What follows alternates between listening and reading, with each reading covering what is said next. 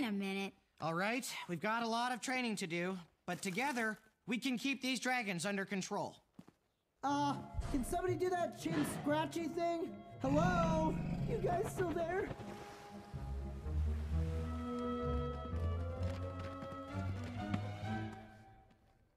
Huh. No dragons. That was easy. Lunch? That's weird. If the dragons aren't here, where are they?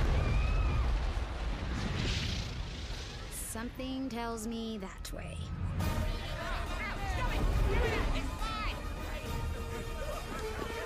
Stormfly?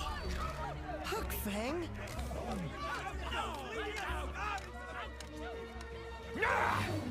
Eaten everything. We've got nothing left for the freeze. I warned you, Stoic. But did you listen to me? No. You put a bunch of teenagers in charge. Now look what the dragons have done.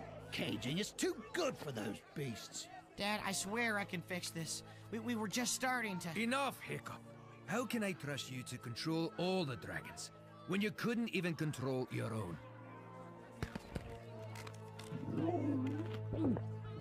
Ah, toothless.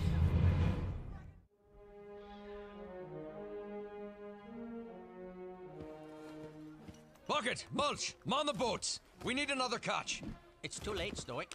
It took us six months to catch all that fish. Don't tell me it's too late. We've got to try. Of course we do. uh, don't tell the chief it's too late. You're always so negative. I don't know what it is with me. Dad, please, you gotta listen to me. I know dragons better than. Not now, Hiccup. I have a village to feed. The dragons have done enough damage. By tonight, I want every one of them caged. Understand? You can't just cage these dragons. You need to send them away now. You're right, Mildew. You'll cage them tonight, and in the morning, Hiccup will send them off the island. I'm sorry, son.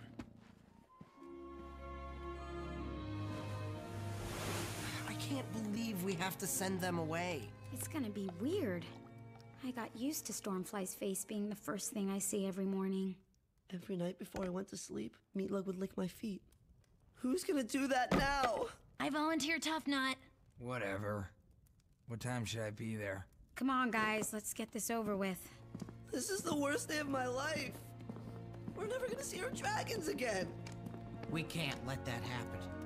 Toothless is the best friend I've ever had. Oh, Toothless, I'm gonna miss you so much. You know what your mistake was? Thinking dragons